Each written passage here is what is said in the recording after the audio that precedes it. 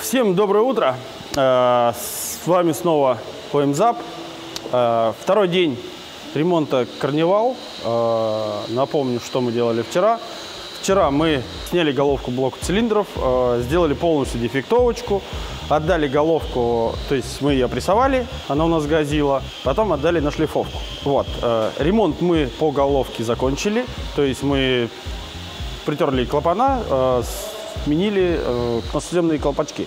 А, сегодня, вот, сейчас заглянем сюда. Смотрите, также мы вчера вечером подготовили, пока все у нас происходило, подготовили плоскость блока, то есть почистили, вычистили, а, заменили водяной насос. Вот он у нас стоит, оригинальный водяной насос. Мы новый поставили. Здесь тоже почистили под крышку ГРМ, то есть все вычистили, помыли, слили масло. У нас сейчас задача, то есть прежде чем э, устанавливать головку блока цилиндров, мы э, будем устанавливать теплообменник. Э, смотрите, там у нас по теплообменнику у нас было много тоже споров.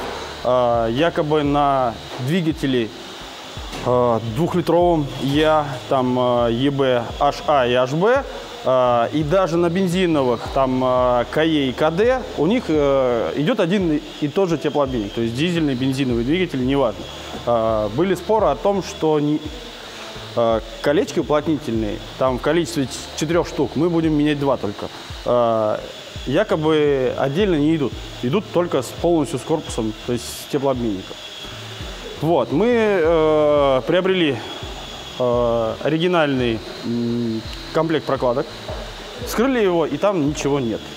Э, стали рыться по программам, да, вроде бы идет, но все же искали, искали и нашли. Вот сейчас покажем вам, как они выглядят и с каким они номером. Смотрите, вот наш теплообменник, то есть подготовленный, заранее помытый. И вот они, резиночки то есть которые идут сюда, большая и маленькая. И вот, напомню, вот наши были старые, то есть они жесткие, полопались. И вот здесь есть даже ржавчинка. А, у нас блок поддался немного коррозии. Блок мы тоже зачистили, и также здесь есть трещинки, полопалась и ржавчина. Вот сейчас попробуем есть вскрываем и будем устанавливать туда их. Наружной и внутренней стороны судя по кольцу, у нас нету. То есть просто устанавливаем кольцо туда. Ну вот, очень хорошо, плотно село колечко. Вскрываем следующую. А, также вот здесь, а, между корпусом масляного фильтра и теплообменником самим, стоят точно такие же два кольца. То есть если открутить вот эти шесть винтов, то есть отделиться он, и там стоят точно такие же кольца с таким же номером. Вот у нас сам теплообменник. Смотрите, э, следующее еще, что нам придется. Мне придется нанести сюда небольшое количество герметика. Совсем чуть-чуть. Дело в том, что блок поддался коррозии. Э, причиной, скорее всего, стал тот пятый болт, который мы обнаружили, был нижний не закручен. Э, то есть видно на колечках и на блоке есть небольшая коррозия, то есть плоскость не совсем ровная. Э, В целом все в порядке, но лучше перестрахуемся. И вообще прям маленькое-маленькое количество. Сейчас вот прям покажем. Ну вот, берем хороший качественный герметик. Он у нас черненький. И прям аккуратненько-аккуратненько наносим. Если, конечно же, у вас с плоскостью на блоке все в порядке, то ничего не надо. Можно ВДшечкой побрызгать, либо бетольчиком. Помазали, чтобы в момент затяжки ее не скривило. Все, сейчас будем устанавливать. По болтам у нас получается непонятная какая-то причина, почему пятый болт был не затянут. Болты все одинаковой длины, то есть мы видим 5. Но нижний был почему-то не закручен. Где он у нас, какой был болт? Вот у нас раз, два, три, четыре. А нижний болт непонятно. Там даже я не могу понять, где он находится. Сейчас мы попробуем туда посветить. А, ну вот же у нас получается, в принципе, так, так, так. Если мы по блоку смотрим, то это у нас получается самый нижний, вот этот болт. Вот он, он уже на самом поддоне. Ну что, сейчас возьмем аккуратненько головочку. Так, под 12. Наверное, сразу, сразу возьмем какой-нибудь верхний болт, который нам будет поудобней. И наживим его. А, направляющих здесь ничего нет, поэтому ловить придется руками. То есть его. Ну, можно вот сразу бросить второй болт, чтобы он у нас не прыгал там. Ну и, в принципе, в доступе третий болт. Вот. У данного теплообменника есть направляющий. То есть сам он пластиковый, но есть направляющий. Но все равно не нужно усердствовать. То есть здесь нагрузка не нужна большая. Вот маленькую трещоточку взяли, подтянули, то есть почувствовали, что до упора сел. И все, этого достаточно. Не нужно затягивать каким-то прям огромным ключом, чтобы сорвать. Так, и последний у нас, последний пятый болт. Сейчас мы точно проверим, как он у нас садится. Он у нас находится еще ниже. Вот, данный болт опять не дотянулся. То есть, значит, э, когда кто-то все-таки же разбирал, было понятно, что ее снимали, но ее не шлифовали, то есть э, прокладки новые не устанавливались, может быть, подголовку отдельно брали, но впуск-выпуск и какие-то теплообменник вокруг стояли на герметике. Э, хозяин тоже об этом не в курсе, то есть у него спрашивали, он не знает. Подберем сейчас болт. Болт возьмем покороче, то есть вот где-то вот такой у нас примерно там упирается. Нет, данный болт короткий. Чуть-чуть подлиннее, значит, надо. Все, тут, в принципе, понятно, почему он бегал. А, дело в том, что там направляешься и... Так, ну и все, последний болт тоже так же подтягиваем руками. Еще раз проходимся, проверяем. Все затянуто. С теплообменником мы закончили, колечки заменили. А, там у нас сейчас э, установим э, балансир на подрамник и также установим стартер. И уже после того, как закончим, то есть там с проводочкой, чтобы более удобно было, начнем устанавливать головку блока цилиндра. То, э, ремонт наш идет дальше. Как и говорил, то есть головочку собрали, клапана на месте, все притерли. У нас то есть она шлифованная, отремонтирована полностью. А, также мы сделали фрезеровку шахт топливный форсунок. Если видно, вон зачистили. То есть у нас будут устанавливаться шайбы э, пламя-гасящие на топливные форсунки. Так, смотрите, начнем головку собирать. Э, удобней и проще начать с выпускного, ой, впускного коллектора. То есть это будет э, проще и быстрее. Начать надо со свечей накала. Вот свечи накала, то есть мы почистили, помыли, э, проверили каждую свечу, все свечи работают, поэтому будем устанавливать назад их. Прежде чем устанавливаем, так как завода они просто вкручивают туда, мы обрабатывать будем температурной смазочкой, чтобы в дальнейшем без проблем можно было выкрутить их.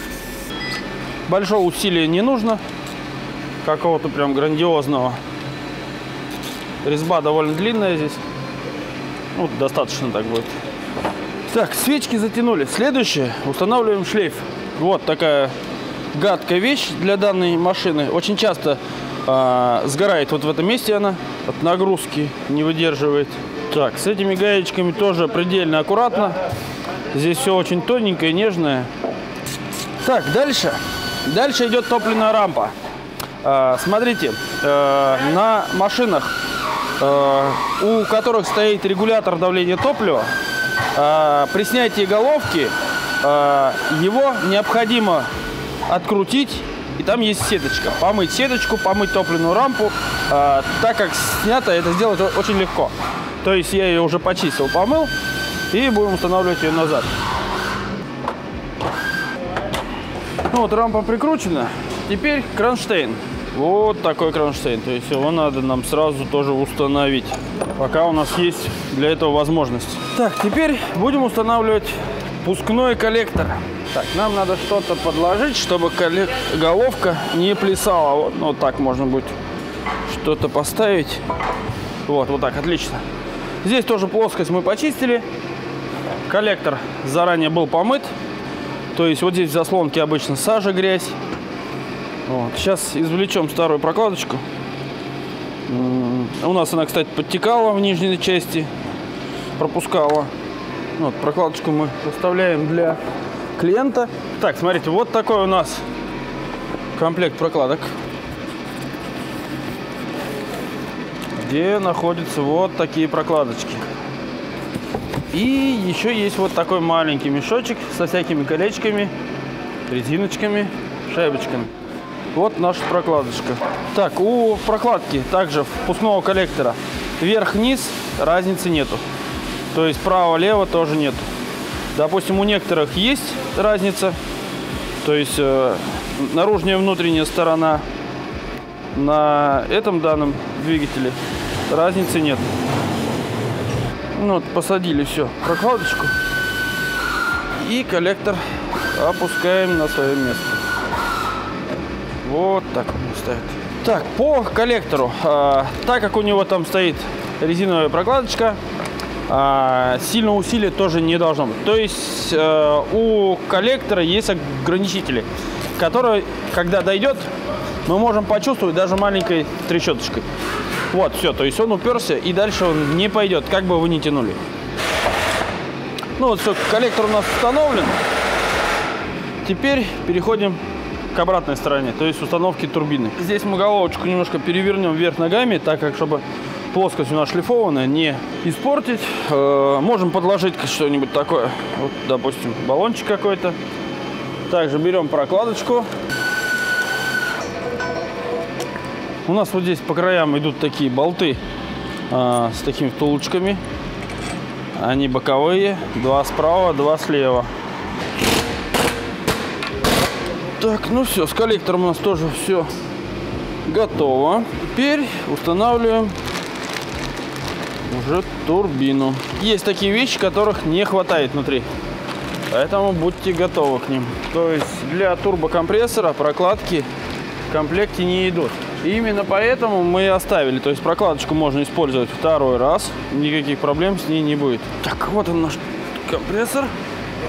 Секундочку. Поставим экранчики сразу, чтобы нам потом не мучиться, не подлазить. У нас два экранчика имеются. Этот у нас на ту сторону. Этот, я так понимаю, вот сюда. Да, все верно. Этот отсюда экранчик.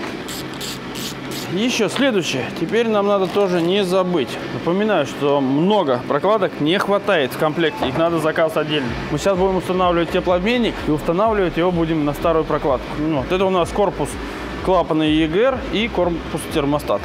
Тоже все подготовили, помыли, почистили. Прежде чем ударить пистолетом, мы доживим их немного. Если меня кто-то осудит за то, что я закручиваю пистолетом, а, дело в том, что с этим пистолетом я работаю уже больше шести лет с одним и тем же. То есть он мне очень нравится, не подводит меня. Инструмент свой уже чувствую, поэтому... Ну и тем более вот мы после этого перепроверили уже руками. Так, ну вот так у нас теперь выглядит эта коряга. Получается такая, вот она у нас все больше и больше становится. Теперь уже можно устанавливать турбину. Так, на турбине гайки у нас были там одна под ключ на 14, в ней плохая резьба, вторая на 15. И вот еще стандартная была шпилька выкрутилась. Мы сейчас другие возьмем гаечки оригинальные.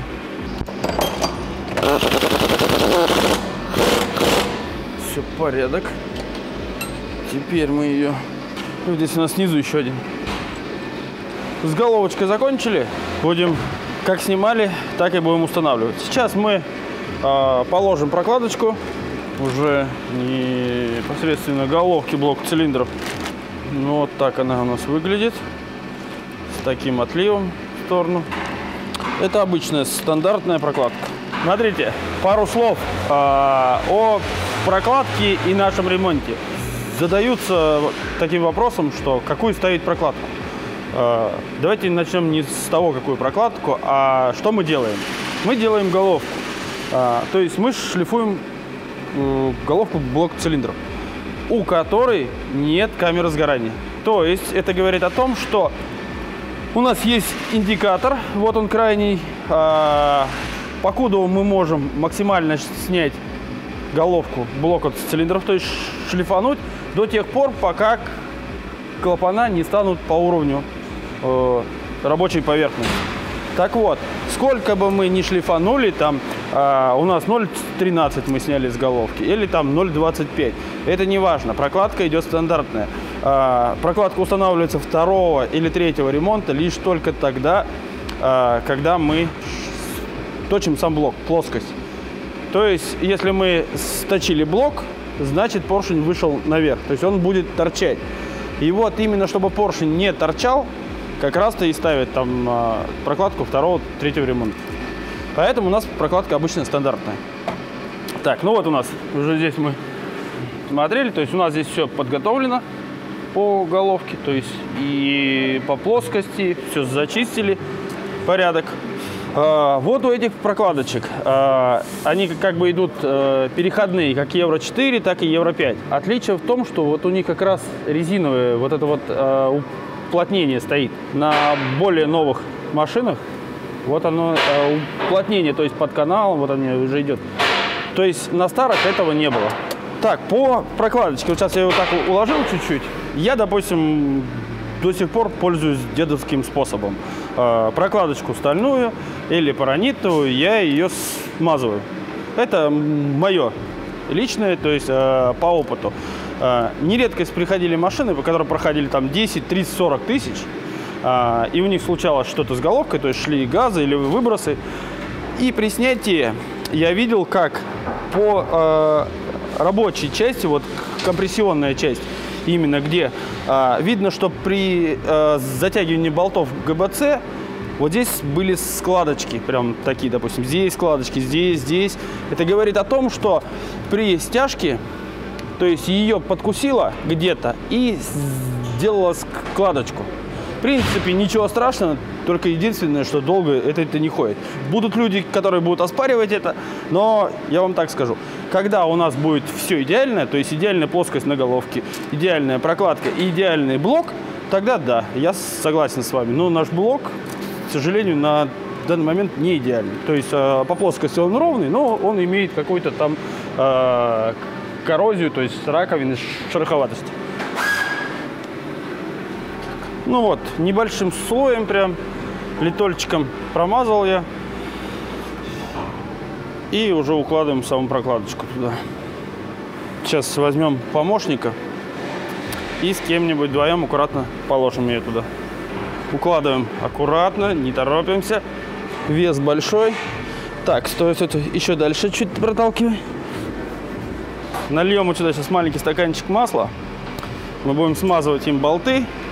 Ну и в дальнейшем он уже для постели распредвалов пригодится нам и так далее, так далее. Болты у нас вот они. А, в количестве 10 штук они. То есть нам надо 10 болтов. Болты тут изначально уже помазаны. Так, вот у нас, смотрите, там еще был разговор про шкив коленвала. То есть был оторван демпфер. Также будем менять шкив. А, вот она трубочка которая подача масла на турбину. Будет замена производиться. Так, здесь у нас находится оригинальный ролик. Тоже, который мы будем менять. Вот так он выглядит. Так, ну что, берем болтики и будем аккуратно их туда опускать. А, много тоже не нужно. То есть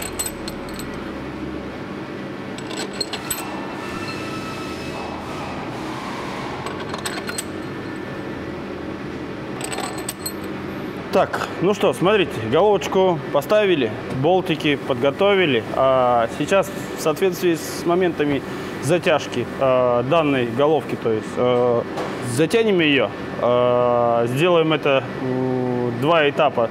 Допустим, там у нас будет, если не ошибаюсь, 5 кило, а потом 90 градусов, дадим ей постоять, там час-полтора, и потом уже затянем еще один последний этап.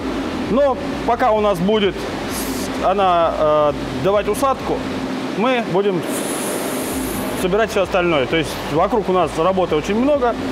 Начнем, наверное, там с турбины, скорее всего. Вот. И закончим. Э, у нас здесь также на этой машине, то есть уже э, ремонт уголовки, добавилась э, заглушка EGR клапана. Мы глушить будем здесь на дроссельной заслоночке. А, добавилось удаление каталика. То, что мы уже сделали, то, что подготовили. Вот такой катализатор у нас. Мы разрезали его и заварили. Производили также э, замену колодок, рубки заднего контура на кондей и так далее, так далее. Вот. Так, ну что, э, сейчас перерывчик маленький и будем затягивать. Добрый день, с вами компания ОМЗАП. Для тех, кто проживает в московском регионе и не имеет возможности привести к нам свой автомобиль на профессиональный ремонт двигателя, можете прислать транспортной компании снятый силовой агрегат. Вы оплачиваете доставку до Москвы, а мы отправляем вам отремонтированный двигатель за свой счет. Двигатель к отправке готов. Также мы пришлем полный видеообзор дефектовки и ремонт вашего двигателя. Так, ну что, начнем. Сейчас подтянем болты. Так, берем динамометрический ключ. А, Он нам нужен, чтобы сделать первый этап. Как гласит документ, первый этап а, затягивается 78,5 ньютонов. Всех болтов есть э, 0,5 плюс-минус. Так, 80, 78. Ключик, смотрите, если пользуетесь э, ключиком, берите, соответственно, качество получше ключа, а, но э, качество это не главное. Любой ключ, любой ключ э, динамометрический, он сбивается. То есть его нужно настраивать, регулировать. То есть хотя бы раз в месяц есть специальный приборчик, которым можно проверить. То есть он крепится такой на стеночку, вставляем ключ, выставляем и пробуем нажать. Наш ключик исправен, проверен, поэтому начнем. Так, э, я думаю, что ничего нового, все как всегда. Первый болт будет вот этот, то есть первый, второй, третий, четвертый, пятый, шестой. То есть вот так пройдет змейкой. Тянем, пока ключ не щелкнет. Так, вот это у нас пятый болт. Так, ну все. А, теперь ключик нам этот больше не нужен. Ну, по крайней мере, мне. Он не нужен. Ослабляем. Обязательно не забываем ослаблять ключ всегда. О. Следующие два этапа по 120 градусов. А, Если не знаете, как сделать э, 120 градусов, допустим, на глаз, то есть нет опыта, есть такая муфточка специальная, а, уг- угломер вставляется между, то есть удлинителем и самим воротом, который показывает нам угол. Так, а, у нас вот этот первый болтик, вот смотрите, вот здесь у нас будет 90, вот здесь у нас будет 120. То есть я буду тянуть без него. И опять же, а, чувствуется по усилию. То есть, когда вы тянете головку, должны чувствовать сами а, усилие. Болт еще идет или уже встал. Почему я пользуюсь большим ключом? А, усилие очень большое, и воспользоваться маленьким будет очень тяжело и сложно. Поэтому не пугайтесь, что такой большой ключ. То есть сейчас я вот прошелся уже довольно хорошее усилие, и нам еще после этого придется пройти еще круг, еще по 120. Второй этап. э, закончили по 120 градусов. Э, сейчас дадим ей чуть отстояться. Вот. Пока она будет отстаиваться, мы сможем собрать э, вокруг что-то. Ну, дадим полчаса, там час буквально. Стоимся и затянем последний круг. Я не вижу, в принципе, смысла вам рассказывать и показывать, как мы соберем все это. Вот. Я думаю, вам уже будет легче в обратном порядке. Вот, собрать. А, как ремонтировали, как разбирали, как снимается, показал. Вот, я думаю, собрать вы уже все сможете. Главное, то есть, э, старайтесь, чтобы все было чисто, все аккуратно, то есть не спешите. Главное, если не можете э, запомнить, то есть в голове, где какой болт, что как стояло, делайте фото или разбирайте там, не знаю, ну с другом даже, можете с другом. По заглушечке я вам говорил, то есть заглушечку мы будем делать на дроссельной заслоночке. Где-то даже у меня есть, вот смотрите, на данной машине, то есть заглушечку мы будем устанавливать вот здесь. А, это как раз у нас такой переходной фланец между пускным коллектором и теплообменником. вот здесь мы поставим заглушечку. То есть здесь довольно сложно это сделать. Вот, тут мы оставим все штатно. Заглушим вот здесь. Здесь у нас холодное место, она не сгорит, ни ничего с ней не будет. И, э, допустим, э, миллиметр-два будет вполне достаточно, то есть она не сгорит. А, есть люди, когда глушат в горячей части, я не вижу смысла.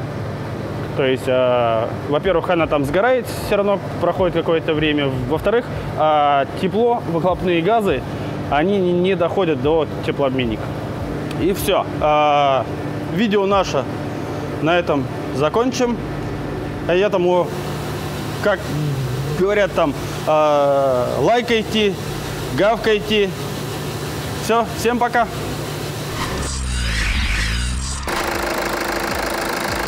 Я уже завел машинку.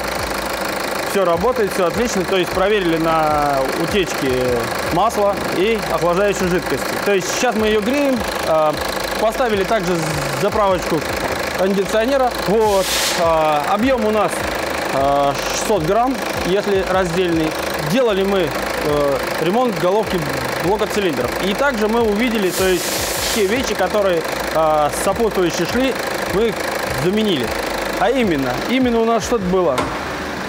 Э, то есть вот насос водяной, вот здесь дренажное отверстие, и вот здесь видно, что э, под высоким давлением, когда газила головка блока цилиндров, сальник подтекал. То есть сама помпа-то, в принципе, не болтается ничего, но сальник начал течь. То есть помпочка вот так в сборе шла оригинальная, заменили. Э, и, кстати, она со шкивом шла. Заменили один ролик. Э, вот у нас трубочка как раз высокого давления, которая вот болтается, видите, как она? То есть не, не держится трубочку подачи давления масла. И шкив коленвала. Так, ну что, ну, у нас были прокладочки, болты, э, сальнички. Ну вот в целом все сделали, заменили. Э, сейчас также по просьбе хозяина посмотрим э, подвесочку, сделаем компьютерную диагностику. Э, наличие качества масел, просил посмотреть тормозную жидкость, э, наличие масла в коробке. То есть гур, охлаждающая жидкость и двигатель мы, соответственно, меняли, поэтому нам это ни к чему. Ну вот, в целом у нас заняло это где-то два с половиной дня. То есть разборка, сборка и ремонт. А, есть нюансы, довольно сложно, неудобно. То есть, ну, в целом если есть руки, то все можно сделать. Ну все, всем пока.